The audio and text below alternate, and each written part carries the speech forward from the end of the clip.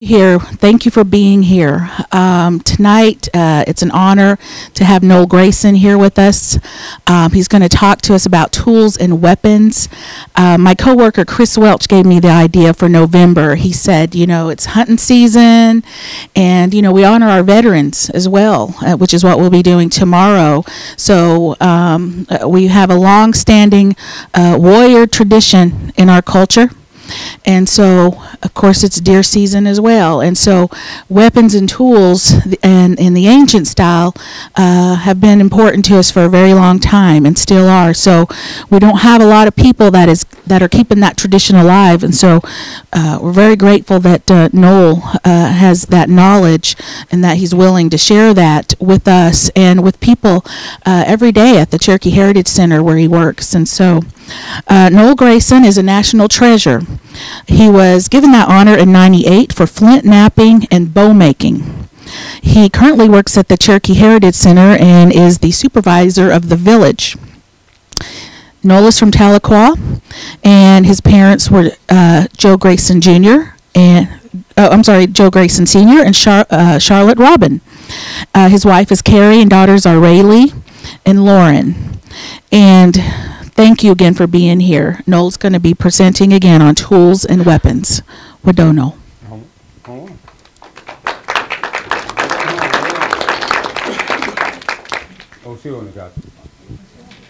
Now, what I'm actually going to go with on this, you know, everybody always associates stone tools with arrowheads, spear points, things of this nature.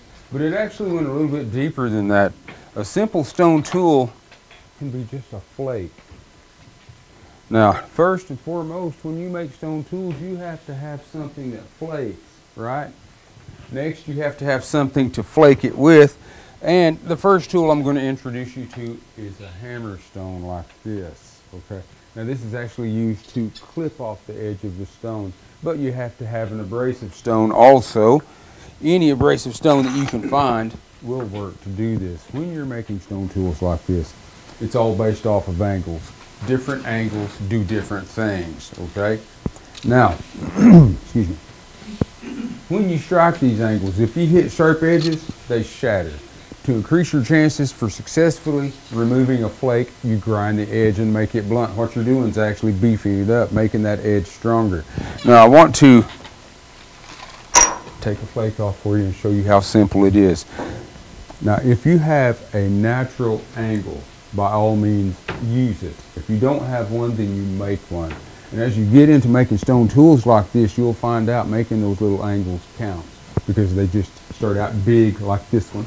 Okay, anything less than 90 degrees is going to work to do this.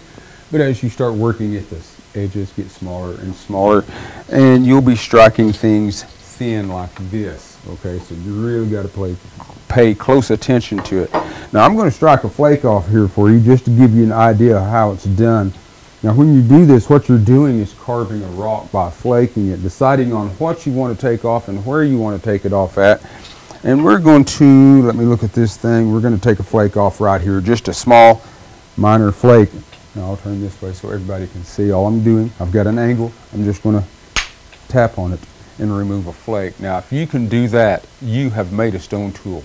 Okay, that is your first one. Now let me give you an example of the effectiveness of a tool like this. Now I've got a good piece of leather here. Now let's see how I can hold on to this thing and still yet have everybody see it. And you just seen me knock this flake off. Hold on. And all I'm going to do is touch it. See there? good stone tool right there. That's your first one. Now, of course, we're going to take it a little bit further than that because the next tool I introduce you to is going to be the base of an antler. Now, the base of an antler where it attaches to the head is good and solid. I hope I didn't forget it. Hold on. Oh, there he is right there. The base of an antler where it attaches to the head is good and solid, but the best part of the antler is actually the bone that the antler grows on, okay? You know antlers just fall off. Now the bone, you get a kill, you get inside there, get the bone that the antler grows on. That is the good stuff. Now, testament to that statement is the fact that I've had that antler 19 years. Buddy of mine gave it to me as a wedding gift, and that's the only reason I know how long I've had it. now, I'm going to show you how to remove a flake using antlers like this. Now we've knocked a flake off of this. It's got a sharp edge on it. Now we want to build an angle. Okay, and I told you before that when you're doing this, you're carving a rock. And let's look at this thing and find us a good angle on here. Ooh, I believe that will work right there. I'm going to take this one. I'm going to grind the edge of it like this. Now what I'm doing is grinding the sharp edge off of it and making it blunt. Now you'll notice it sounds like I'm hitting it hard. Okay? If you got the right angle, you don't have to hit it hard. I give it three tries. If it doesn't come off in three tries, something's wrong. I'll adjust the angle again. But hold it on your leg. Now, actually, to tell you the truth about it, I am more comfortable just holding it in my hand like this. But I know people's going to go home and try this, okay? Don't want you to cut yourself. You know how sharp the flakes are. So we're going to hold it on our leg like this with a good piece of leather to protect our skin. And all we do is tap it and remove flakes like this. Okay? Again, good cutting implements right here. Good stone tools. Now, of course, we're going to keep on moving with it because we want to take a good flake off of it. You noticed all I was doing was tapping it, okay? So, we're going to get a good flake like this off of it. Now, you can make arrowheads out of flakes like this simply by going along the outside edge of it and straightening it out. Anybody ever frame a house? Hmm? You guys done a little bit of work like that, right? Start out with a frame, right? You frame it and then you finish it. Do the same thing with these. All you have to do is just start tapping on it, getting it close to the shape that you want, just like you would do a house. You frame it in. Once you get it all framed in by chipping it like this, it's the same thing I was doing before, but it's a smaller scale. Whoops, that happens. It's a smaller scale, okay? You're taking the same flakes off of it. Now, of course, you're going to actually want to finish it out with the tip of a deer antler. Now, using these techniques like this, what I'm going to do is look for somewhere on here. Again, I'm just going to grind it down like this, okay? You always grind that edge down and beef it up, make it strong enough to accept the force of a blow or the pressure you put on it. Now, everybody knew how this was done. Men, women, children. That's why you find so many thousands of them.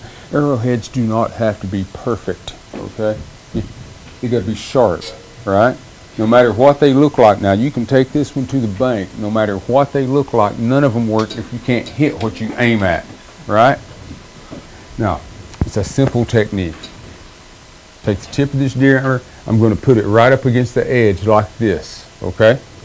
Now, I'm not trying to break it. I just want it to stay where I put it. Apply pressure going in, push down. It actually taught me, it took me a long time to figure out how to tell people how to do this. I've seen some big men not be able to push flakes off of a stone like this. And that's just my upper body weight. Like I said, I'm not trying to break it. I just want it to stay where I put it. Lean on it, push down into the palm of my hand. Oh, come on now. It's trying to make me look bad. There we go. And remove a flake. Right? Remember, what you're doing is carving a rock by flaking it like this. Now, we've been doing this, I think the oldest point known that I know of is a uh, Clovis point. It's one of the oldest. I will not say it is the oldest. Let me dig around in my bone pile here. I got him here somewhere. Mm, hold on one second. I hope I got him. The oldest known point is a Clovis point. They say it's about roughly about 15,000 years old. This technique. Now this is strictly a North American invention. Okay, everybody in the world makes stone points, but only Native Americans took a flake from the bottom of it, thinning it out on both sides. It made it easier to haft. Now this itself is, at one time, Clovis New Mexico, the oldest known point. Of course, they've found other ones nowadays, and I think they go back about 40,000 years, okay?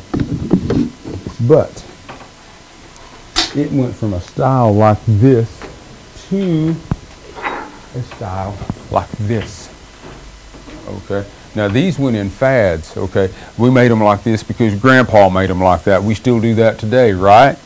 Right? We made them like this because Grandpa made them like this, and it keeps on like that and keeps on until someone decides they don't want to make them like that no more, and they develop a different style. You ended up having points that had notches in them. Now I'll, I'll actually show you how to notch a point, and I'm just going to use a sliver of bone to do this. Bone and antler, they're basically the same thing to me. When you use bone like this, you want to use it like this as opposed to being flat. When you build a house, put the rafters on, you don't lay them flat like this. There's more tensile strength like this, and this is how we're going to use it. Now let me find something we might want to notch here. Uh, as a matter of fact, I might have some small points in here we can notch. We'll put a notch in this point. Again, it's the same technique. You're pushing in, pushing down. First, we're going to clip the side of it, squaring off the edge, okay? Then push in and push down. You want to hear it snap. By it snapping, that is the sound of a flake dislodging, okay? You don't actually want to hear it crunch, okay? You want to hear it snap. Now in just three, oops, hold on. In just about three notches right here, or three flakes, we have created a notch. I don't know if y'all can see that that far away. Now notches don't have to be deep, okay? They can actually be relatively shallow and thin because what we used to tie on with, which was sinew or plant fibers, is relatively thin, right? Now, all you have to do is notch this side, taking off these small flakes. And the flakes will actually, I know y'all can't see it from here, but the flakes will actually end up looking like clamshells when you're doing it right. Now, notch points. Now these are going to be used after we uh, progress in time from using big stuff like this we were using an atlatl. Okay, that's an Aztec term. But uh, an atlatl actually acts as a second elbow. Your wrist will act as a second elbow, adding a lot more force to your throws. A young man can take a spear with an atlatl, throwing stick, and hurl that spear over a hundred yards. Now, we didn't hunt from that far, okay? we used all the force that was generated from that to pierce mastodon hide, woolly mammoth hide. Anybody have uh, any experience with buffalo hide? Buffalo hide is thick, okay? It is hard to cut. I will not lie about it. It's hard to cut. Use all that force to penetrate it. I can imagine what a mastodon hide is like. It's probably about this thick at least. Now, of course, everybody pictures us as being big game hunters. Okay, but if you actually archaeologically, if you dig down in those digs, you find lots of small game. They were opportunistic hunters. You cannot hunt big game when it's hot outside. A day like today, nobody went hunting today, right guys? None of us went hunting today because it's just too hot. We get something, the meat's going to spoil too fast. So, small game. So when we started hunting small game, we started making smaller points using a bow. Golf chop.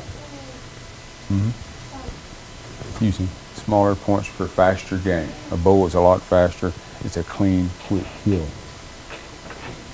Now, so far, does anybody have any questions on it?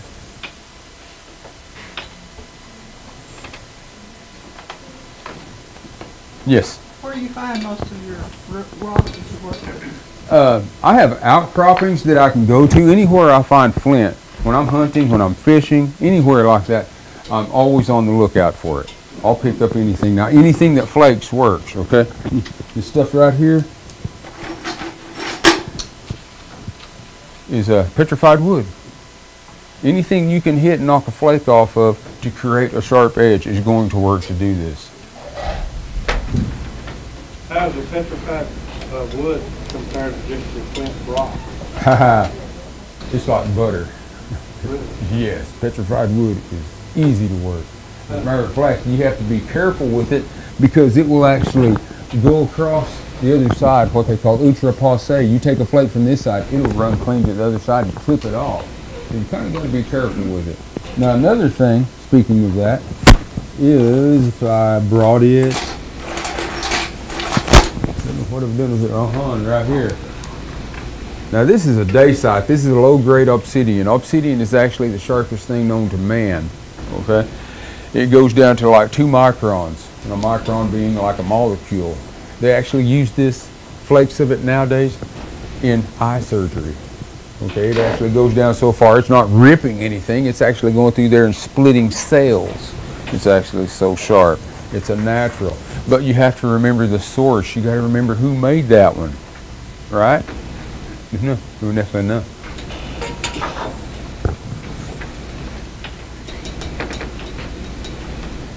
Any more?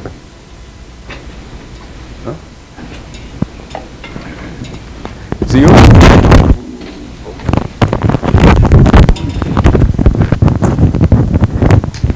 What side this goes on?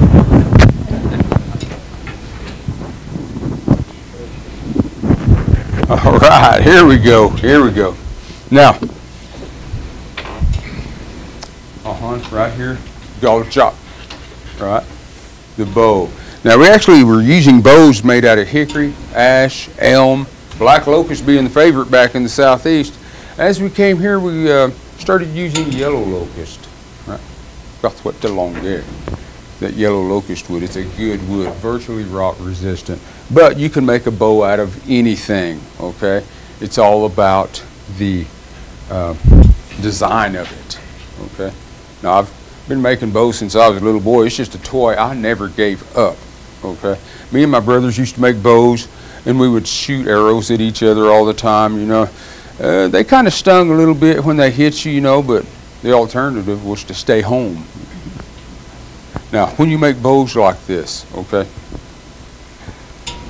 for me, I cut wood during the coldest part of winter if I can, okay? December, January, February, December being my favorite. Y'all know what a moon is, right? You go by the moon phase. That little area between the new, the full moon and the new moon. There's that little black area, black moon phase, where there's no moon at all. The moon controls tides, so it controls sap. Now, when there's no moon, that sap will be low, right? Now, that's not void of sap, okay, the tree, because if it doesn't have any sap in it, it's dead. Now, what you want to do is you want to cut that tree in the dark of the moon. Now, generally myself, I let my wood season about four years before I ever make a bow out of it, even think about making bows out of it. Because if anybody knows bois d'arc, or yellow locust as we call it, you know that that wood, after it ages and gets old, gets hard as a rock. And so it only goes to reason if you want to make a hard, fast shooting bow, use aged wood. Now, when you're making these bows, everybody knows how to tell the age of a tree by counting the rings. You follow one growth ring all the way down the entire length of the bow. Next, for us, the size and the shape of it and the strength of it was all determined by the man who made it. It's his bow. He can make it as strong or as tall, short, thin, wide as he wants. But by any means, the most important part about making a bow, regardless of what wood you use, what design, is tillering it and making that bow bend evenly. When I make bows, I try to make my limbs bend from right here to here in a quarter of a round, okay? Y'all know what I'm talking about, fourth of a circle? I want my limbs to be in, in a quarter round circle. That way I know there's even stress on both limbs. Getting optimum usage out of every inch of that bow that I possibly can. Now, when we finish making bows like this, we would rub bear fat on them. Bear fat actually acts as a sealant. There's oil in that fat. If you will let that grease just set, it will separate. It's like cream rising to the top on milk. A little oil will come to the top of it. That's the best stuff to use. Rub it inside that bow and it acts as a sealant. Soaks into the wood. For strings, we preferred bear intestine.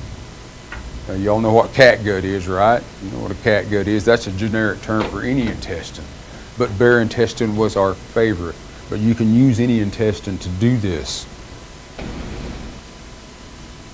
Now, I ain't gonna string your bow. Uh-huh. I'll let you string it out. Huh? Oh, oh, it's not yours? Yeah, okay, okay, we won't string it up. All right.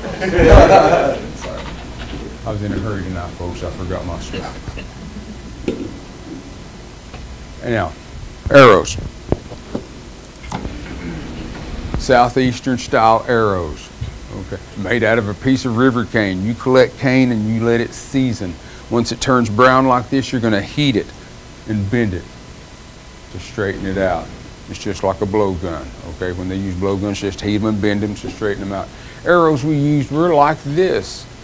Okay. Now I know most guys nowadays, you know, we got a draw length. You know, we cut that arrow that long to our draw length. Arrows we used back then were about 36 inches long but we shot bows in excess of 100 pounds. Arrows back then were almost big as your finger. now, it was a two feather fletch like this. Now, I know everybody associates arrows having three fletchings on it, but as Southeastern Indians, we used a two feather fletch.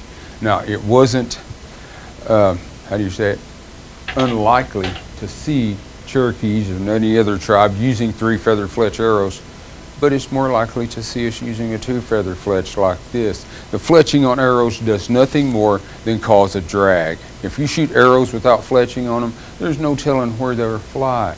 But when you put feathers on the end, it's like the tail on a kite. It's going to slow the back end of it down. Now, there's a little trick you can do with arrows like this. People say, how did you test them? Well, one, you can shoot them. Depends on which way they hit. You want that arrow to hit straight in like this but if it hits this way, it's too weak for that bow. If it hits this way, it's too strong for that bow. But you can also test them by finding the center of the arrow. And we're going to say this, we'll say that's center about right there. You go one inch, basically about the width of a man's thumb. Just, just if it balances at that one inch, it should be good. It should fly straight. Now the fletching, when you tie this fletching on, you're using the underside of the feather, okay? Use the underside like this, where the quill is showing. You tie it from the side to the top, because when a bird flies, what's he using?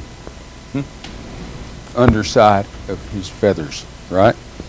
So, when you tie these from the side to the top like this, when you shoot this, it catches wind and forces it to spin making for a more accurate shot. That may have been where they got the idea for rifle barreling on a gun because it's spinning.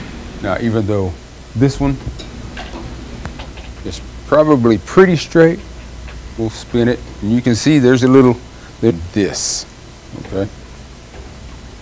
Now, does anybody have any questions on what we spoke of so far? Yes? Um, when you say quarter round, There's a little variation in it. It's not perfectly straight, but it will fly straight and not miss more than. when, when it's on the tree, you look for a quarter round? Oh no, when I'm bending it. You? Okay, I look for the straightest piece of wood I can. Okay, uh, arrows too. When I cut arrows, I've heard people say you're going to lose about half of them. When you go cut cane, you're going to lose about half of them, but not if you're more selective in your choice. Okay, when I go cut arrow cane like this, when I cut cane, I look at it. I'll stand there and look at it for a long time, looking at it all around and making sure I can use it. Okay, before I cut it. Same way with bows. When you look at bows, if you look at trees, anybody split wood? You split wood before, right? knots are hard, right? Now, when you split that knot, when you finally bust through that knot, that wood goes around it, okay? Now, it's just like water, okay? It's going to go around a stump. So, if you actually look at tree bark, you look at the bark, whatever that bark's doing on the outside of that tree, that tree's going to do the same thing underneath it. So if you look at trees, before you cut that tree down, look at it make sure that grain, that bark is running straight up and down. Because even though the tree looks straight, once in a while, if you look at that bark, that, that bark twists around it. And it's going to split that way. Um, when you age it, do you, how, how do you put it up to age it and how do you heat the, arrows? How do I heat the arrows? and how, do, how do you put the, uh, no, how do you put the wood up to age it? Oh, okay. With bois d'arc, now, I've made bows out of a lot of wood, although I prefer bois d'arc, okay? It's just so forgiving. Anybody can make a bow out of bois d'arc, okay? But, I'm gonna get past all the bark.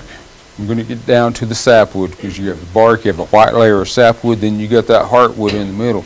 I'm gonna split it maybe in half, depending on how big it is. Split it in half or quarter it, okay? You get any smaller than that, and it'll warp on you a little bit. It's a reaction. But just take all the bark and the sapwood off of it and seal the ends of it. When you, uh, you can use paint, grease, oil, anything. Just put on the end of it. That forces all the remaining sap out the sides, as opposed to traveling the distance of it. And I lay them flat. Because if you lay them like this, gravity's going to pull downwards. Okay. So lay them flat. Keep them out of the weather. Even though bois d'arc is rot resistant, you still got to respect it. Take care of it. The fun part's cutting wood. Taking care of it's when the work starts. Just like hunting deer, the fun part's hunting them. Work starts when you get them down on the ground. Now, for straightening arrows, okay. Now, I generally just myself, but I'm selective in my arrows. I will actually pick things that I know I can use. Okay, I'll actually cut the ones I know I can use. Now, I just heat them.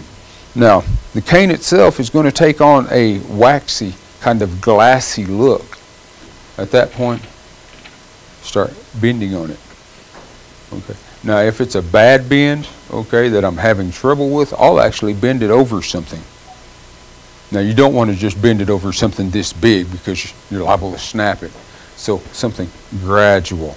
That way, you can only push down so far and roll it too. And then after that, it's just eye, all eyeball. I just look down at. Like I said, they don't got to be straight. They're better if they're straight, but they still work. Huh?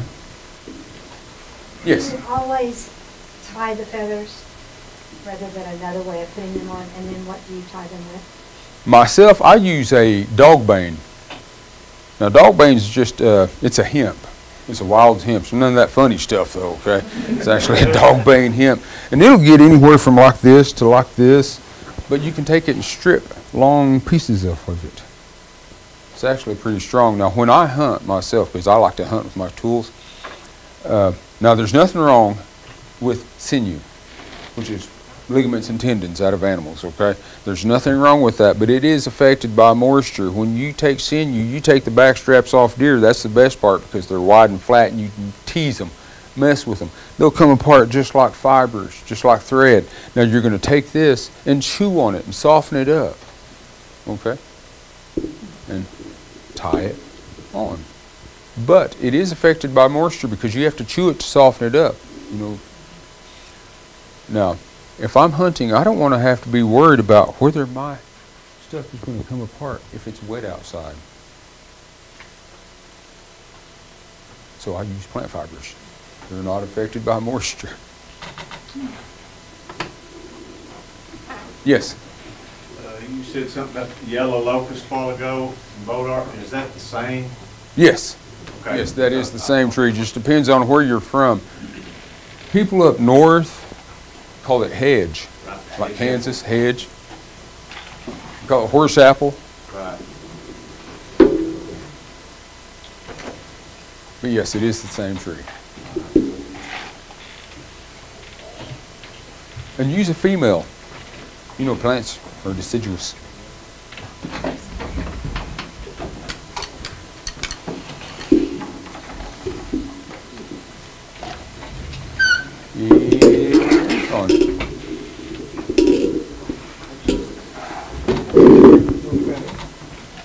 Wild turkey.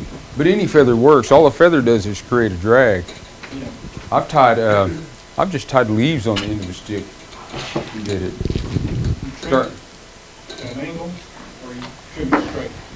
I'm sure, now, mine, I trim mine at an angle going down. You had a question? Yeah, uh, that Agent Orange is what that's called, uh, of course, I believe, in Bordeaux and stuff. The name of it's Agent Orange. Osage. Osage orange. It's Osage orange.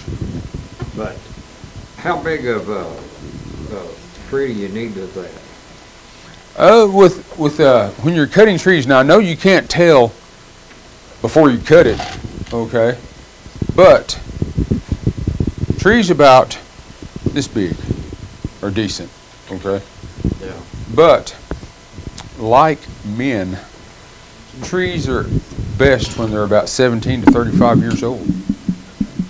You know, young man before he hits 17, you know, when did they take you in the military, guys? Right? 17, 35 years old. You know, you're at your peak. Even that even refers to uh, playing chess.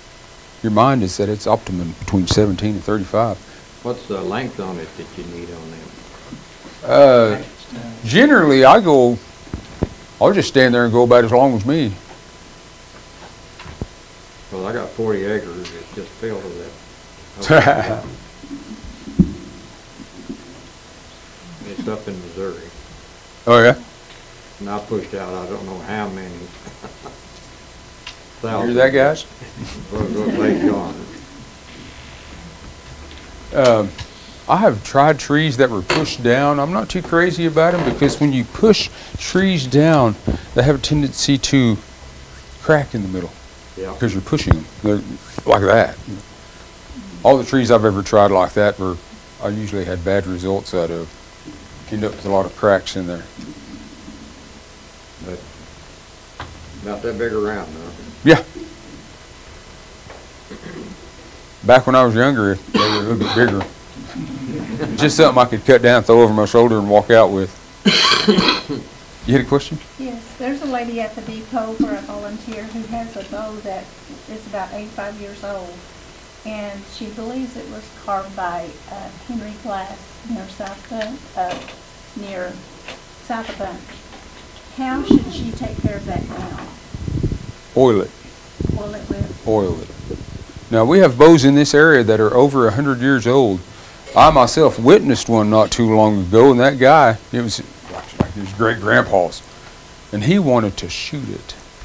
And we said, well, take it. And I, my advice to him, I said, take it and soak uh, uh, paper towels, wrap it in paper towels, and soak it down with oil. Now, I think he just used vegetable oil, which is actually good. You know, you can just use oil like that. But within about oh six months, he was, he was able to get it to a full draw, and shot it in the cornstalk chute. But oil it, yes, always oil. I've got some that, uh, mow dock on my property that hadn't been pushed over, and they're sure welcome to come cut what you want to of those. And if we need any barrel oil, we got a barrel on our place too. Pick somebody up. Now, I think we need a tag for that. But we'll have to talk about that.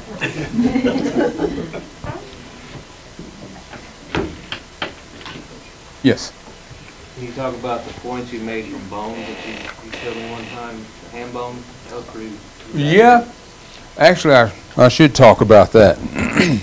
because we didn't just use stone points. Okay? We didn't just use stone. We'd use bone, we'd use antlers, we'd use fish scales, we'd sharpen the end. Now, I want you all to think about this one. If it didn't have a point on it, okay, even a pencil, if you fall on a pencil and it penetrates your heart, you're going to bleed out, Okay, it doesn't necessarily have to have a point on it, it just has to be a well-placed shot. Okay? Now, they would use, like I said, bones, antlers, fish scales, anything works to do this. Now, the only reason you really don't find that stuff out there, and you know it's not real popular, is because all that stuff will uh, disintegrate and go back into the earth. If you all know that rabbits and or squirrels and mice and stuff chew on antlers, okay, so any of that stuff like that, it's going to go back into the earth or it's going to get ate. The only thing that doesn't mess with it is stone. The only thing that messes with stone is us. Okay? So it actually gives you a misinterpretation of the past airheads. They didn't just use stone, they used bone, antlers, all kinds of stuff on the ends of their points. And again, it was all personal preference, as is all of the stuff they did, even in their clothing. It was personal preference.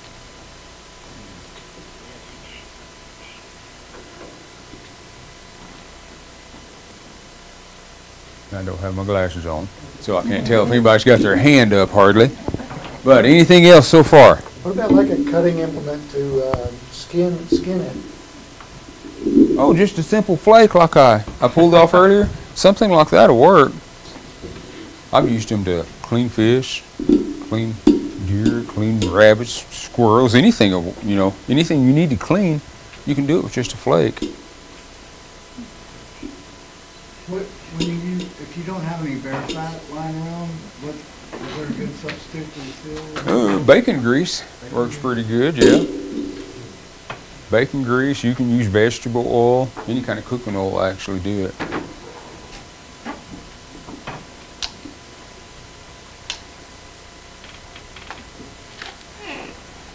And if you heat your house with wood or propane, oil it more often. It, that's a dry heat. Yes. How do you go about deciding how long you need to make your string compared to your bow? I myself, when I make a bow, I generally like to go a hand's width from the nocks. That will generally put me just about in the right area. From there, once you check it, if it's not the bracing height, which the bracing height is once you string it, how far that string is off the back of the bow. If it's not what you like, you twist it. Take that string off and just start twisting it you know, shorten it up. Or untwist it and make it longer.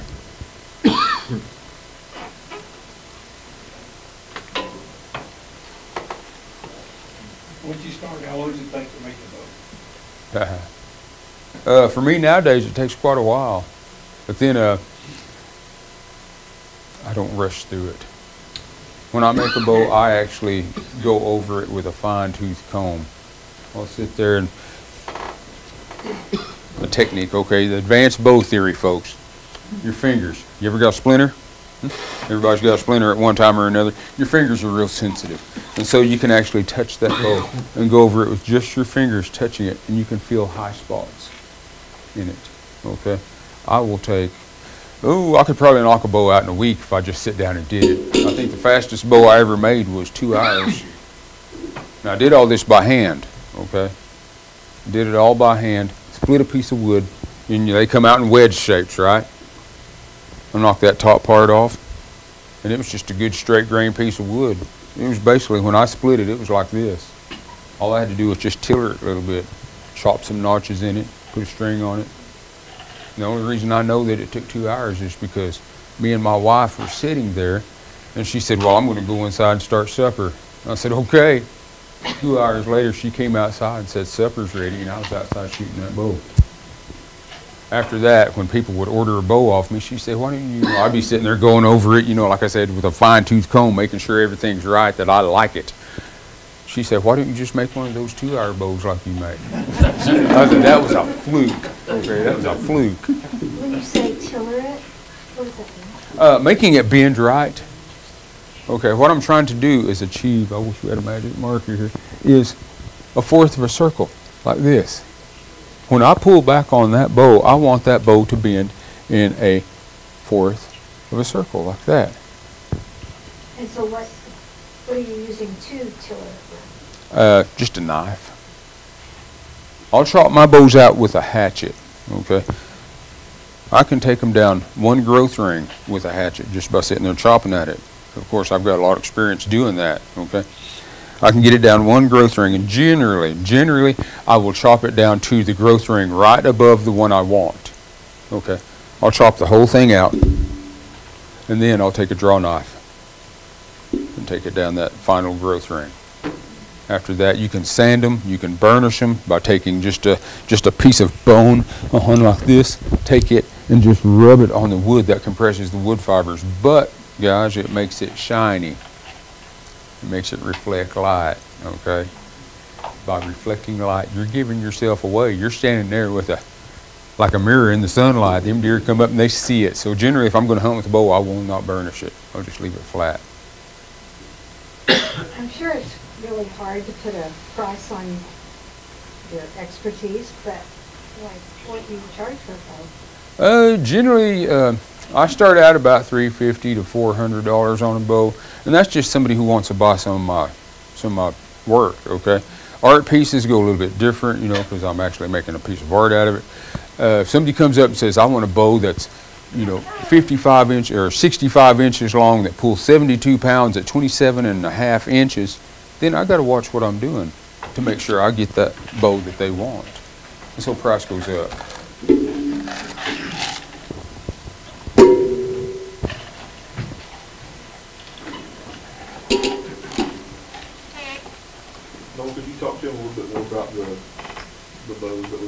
I know you're the first person that told me about the strength of the bows that we actually used to shoot a long time ago. Okay, uh, they actually shot bows in excess of 100 pounds. Now, there's a couple of documents on this. One is De Soto's, when he invaded the southeast in 1540s, right? He talks about his men taking those longbows, and it states, uh, if I remember right, they couldn't pull their hand to their face. Okay, so basically they couldn't get a full draw. Is what they're saying. Okay, now there's another uh, thing in there. It talks about the use of the bow. Uh, DeSoto actually captures a young Native American. He's South southeastern Indian. Forces him to demonstrate his archery ability. They step off 180 paces. Now, everybody, we know what a pace is. A pace is like this, right? You know. Now, give or take, who does it depends. It could be two and a half feet. It could be three foot. Basically, he steps off 180 paces and hangs up a target. It's a coat of chainmail, their armor, okay, and tells him to shoot it. This young man takes a longbow and a river cane arrow and hits it. They march down there, they inspect it. The arrow had went all the way through it. Now, of course, they want to check it again. They hang a second coat up on top of it. Now, these guys, they're checking out their adversary, right? That's what really what they're doing. They step off 180 paces, go back to the same spot and tell him to do it again. He hits it a second time at 100, basically, we're give or take a little bit, 180 yards, almost the length of two football fields. Now, in his in his journals, he says it's a young man. Now, what is a young man to us? Right? To me, all the rest of us, a young man, 16 years old maybe. Now, I must say too, they didn't go into the village and say, "Give us your best archer. We want to try something." It was just some young man they caught hunting. The second arrow, though he shot, went all the way through the first coat and halfway through the second coat. Basically penetrated three layers of chainmail. But the bows back then, like I said, were strong. Now, we think a hundred pound bow, that's pretty stout, right? You know, we think about it, that's pretty stout, but men were just generally stronger back then. As a young man, I used to shoot 70 and 75, 75 pound all the time. When I made bows for myself, 70, 75 pound. I can feel it nowadays. What does it mean when you say a hundred pound bow or a seventy-five pound bow? The pool? okay. When you pull back on that string, when you're shooting that bow and you pull back on it, it is equivalent to picking up 100 pounds like that. Pulling back on it. shoot that like that. Shoot down bow. Although, when you shoot heavy bows like that, I used to shoot bows like that. I was considerably stronger when I was younger. But you shouldn't shoot a bow that's too heavy for you. Okay? If you pull that bow back and you're shaking, you're most likely going to miss what you're aiming at. Yes. What, uh, I've heard forty pounds is like minimum to kill a deer. Uh huh. Is that correct? Yes. That's legal hunting weight in Oklahoma. Hunt weight is forty pounds. Yes. Legal hunting weight. Under forty, under a forty pound bow would just bounce off the deer. Or maybe wound it. Yeah, I'd wound it. Yeah, you don't want to do that. You owe it to that deer, okay? When you hunt for animals like this, now, this is what you call feeding yourself when you hunt with bows like this, okay? When you hunt, you owe it to that animal to give it your best shot. Now, you don't want to go hunting with a 35 pound bow and wound him. Now, I had a friend of mine a while back. He calls me up on the phone and he says, Would you come and look at this deer? I went and looked at it. His dad had been telling him, you know, it ain't no good. Somebody had shot it, wounded it in the shoulder, and he shot it. Right? They gutted it. Inside of it was green on the inside. Nothing but infection. Shot it with a weak bow, it didn't penetrate. He did it a favor by taking it out. But it was his first deer he ever killed. He didn't want to let it go. But yeah, if you're going to hunt, hunt with a heavier bow, something that you can handle at least, you know. But don't don't go out there and just wound them. So if it's too strong and cool, and you want to make it weaker, you keep thinning it down a little bit? Yes. Yeah, if it's too strong, okay.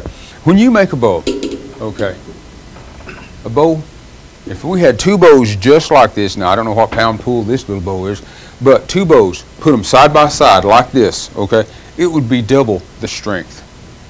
Now, on the other hand, if you make a bow and put them together this way, okay, twice as wide is twice as strong. Twice as thick is eight times as strong. Roughly. Now you can strengthen the bow up too. If you make a bow and it's too weak, you can cut it down. It's just like if you got a 2 by 12 and you got it, oh, 15, 16 foot long, you can get some flex out of it. But you cut it down to 5 foot, you don't bend it at all, right? Same thing. So if it's too weak for you, you can cut it down an inch, basically an inch, will give you about 5 pounds.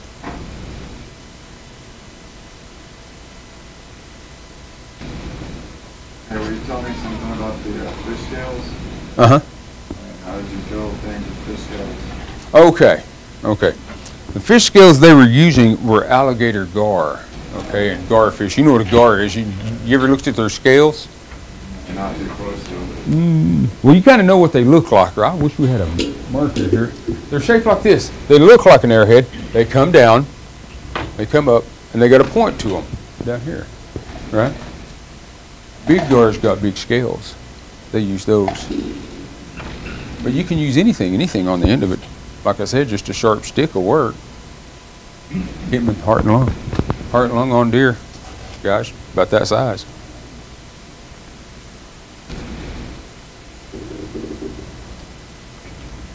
We have about three minutes. Anybody has any more questions? Oh, oh, Those are extras. I didn't know if you wanted to talk about them. war clubs. That's my favorite. Yeah. I had some stuff, I had a buddy of mine, I was running late, I apologize for it. I had some stuff to bring, buddy of mine needed a ride home, all this other good stuff, and I forgot it. Didn't think about it till, I I actually managed to load my flint knapping tools up. But, war clubs, okay. Did all of our fighting hand to hand, basically naked, okay. Now, war clubs like this, we would use ball head war clubs like this, any kind of war club. All of our fighting was done hand to hand. Now, if I remember right, I think that's actually what stick ball sticks represent, is the use of, it's called on right? Ani the little brother of warfare. We use that game to actually train our young men. You gentlemen, veterans, you know, they trained you pretty hard, right? Physically and mentally. We didn't send our young men out into warfare without being prepared for it. We let them play Ani Jodi. Ani Jodi teaches a young man how to watch out for himself on the field of battle, right? And the sticks represented war clubs. But we did a lot of our fighting hand to hand using clubs like this. Now, when I was young, I was told what you made a war club out of was a root. Anybody ever heard that one? Uh-huh. You've I've heard that one. I've read it someplace. Yeah. I was told, my father showed me a bunch of stuff like this, told me how to make arrowheads. My father taught me how to make arrowheads when I was four years old. Probably about the same age they would have taught their kids back then.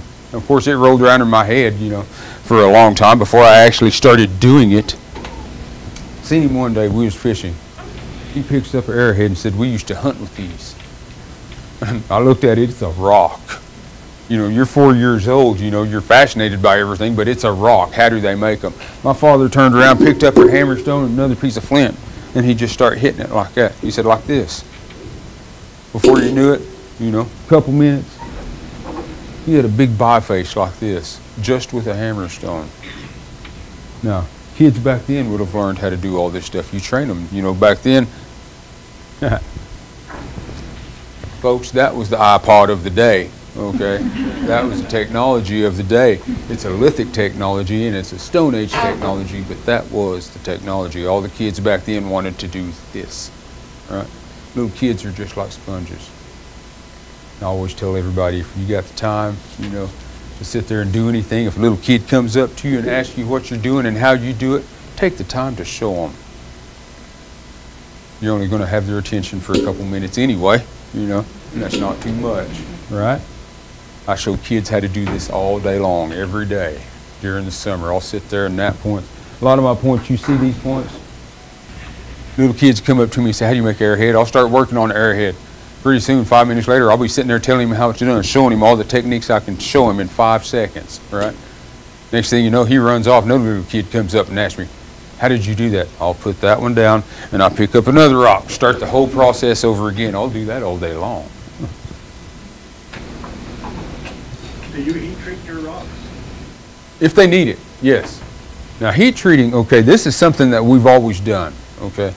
Um, when you heat treat stone like this, most of the, of the stone that we have here in Cherokee County, it's okay. You can use it, right? You can make stone tools out of it. May not be pretty, but you can make them out of it. But what we were doing was busting stuff down, getting blanks out of them, something like uh, this, to this nature. Get it about that thin. Now you're going to dig a pit, oh, about that deep. Put all your blanks in there. Now you can overlap just a little bit, but don't stack, okay? Put blanks in there. Now this is a blank. It's a biface by today's standards. I grew up calling it a blank because that's what my dad called it. It's a blank. But you can overlap them just a little bit, but don't stack them on top of each other. Now once you get them in there, fill that pit up, you're going to put ashes, sand, dirt, anything, okay?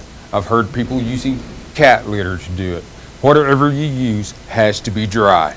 And the pit, it has to be done on a dry day. You can only do this stuff when it's not raining.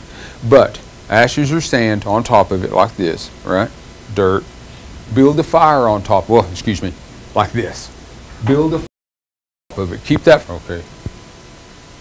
Now, when you heat this under a controlled environment, that quartzite, how do you make glass, right? Clear quartz, right?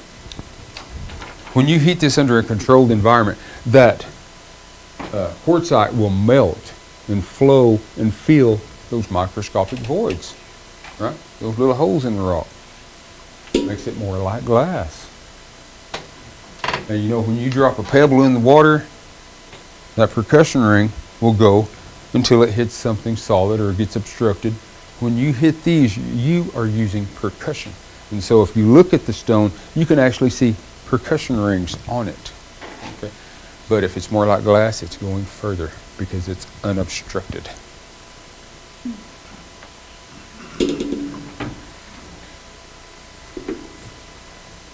I think about this stuff too much, don't I? I was really fascinated by this when I actually started doing it. Like I said, my father showed me how to do it when I was four years old. It rolled around in my head, and I used to knock flakes off rocks, right? I'd be sitting around, if I was bored, I'd be sitting there just beating on rocks. One day I sit down, it was in between semesters of college, I sit down and thought, I'm going to make arrowheads. I'm going to make stone tools. And I just took what my father showed me and I figured it out. And I'd ask other people. There's a lot of people out there that could sit there and say, we use deer antlers. We use deer antlers. How? They couldn't tell me how, but they would tell me they used deer antlers a long time ago. All of it I just kind of figured out. And all of my flaking techniques, the way I do this is a little bit different from most people do it. I've seen people come up to me. There's different ways to hold these tools too, folks. Some guys will actually take a tool when they're using it, they will sit down using their knees, their legs, because your legs are the strongest muscle in your body, and they will push their legs together and push flakes off. Some guys will hold it like this, just in their hand, literally just hold it in their hand like this, and push flakes off of it. And I thought, boy, that's going to be rough on your wrist, right? Me, myself, if you seen me when I was flaking that, I'm kneeling, getting my arm underneath my chest. I'm just leaning on it with my upper body weight. Okay, I'm not pushing on it or nothing. The only strength I use is just going push. That's the simplest way you can do it. And that's the way I teach everybody else. I know how to do it. Hold it in your hand, lean on it. Don't use your upper body strength. I used to do that when I was a kid. After I got older, I realized I can just lean on it and push. That took me a long time. I actually had to study terminology for flint knapping so I could teach people how to do it. You know what I mean? You, you can only go so far by telling people take a rock and hit it like this. You know, take an antler and hit it like this. I actually had to study terminology for it so I could convey it to other people. But through all this time, I've been doing this and been teaching this for probably, oh, probably 28 years now, trying to teach people, people how to make stone tools. And all this time, I've broken it down to the most simple, basic things. Angles, right? Anything less than 90 degrees works. Percussion, same thing. Hammerstone, percussion, antler, all of it's the same thing. It's all percussion, like a percussion instrument, you're hitting something. With the pressure flaking, apply pressure going in, push down. If you can master those, okay? Now, I won't lie to you guys, it's a slow learning curve doing it, okay? But once you master them, you got it.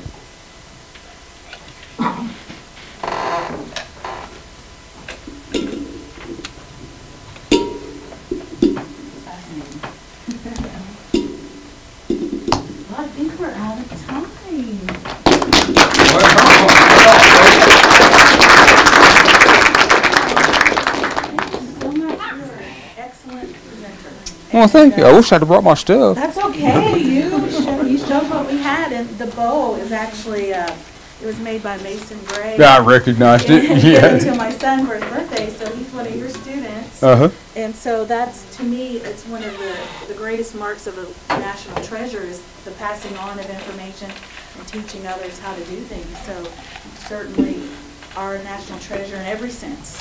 Well, this young man right here, Mason Gray, uh, I think he's 17 now. You know, he came to me and he wanted to know how to do it. I told him everything I could. But you know, when you find guys like this, you want to teach them everything you can. Because not every kid out there wants to sit down. Mason will go out, cut his own wood, chop it down with an axe, old school, like I used to do when I was young. That's what I like about Mason. When you brought his stuff in, I started looking at it and I thought, yeah, I recognize that work. It's like artists. Okay, you recognize other people's work. People used to ask me all the time, did you have certain marks you put on there to distinguish your arrows from your arrows? I said, no, you recognize the work. I have a couple of guys that I've been knapping with for a long time. I can see their arrowheads anywhere, and I know their work. It's like a signature. Great. Thank you for being here. Yeah, sure thing. Thanks. I want to thank you. I want to thank you for listening to me, folks.